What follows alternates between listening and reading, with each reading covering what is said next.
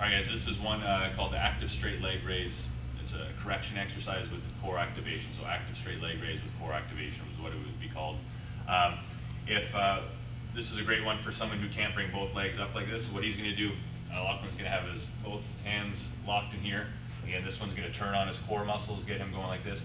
And he's going to take one leg at a time. He's going to go all the way down, and then he's going to come back up. He's going to do a nice exhale breath as he gets to the bottom, and he's going to come back up like that.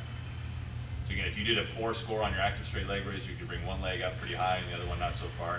You're going to get this exercise. This is a very important one to ensure your kind of overall health as an athlete. Try one more with that other leg. Perfect. So that's our active straight leg raise with core.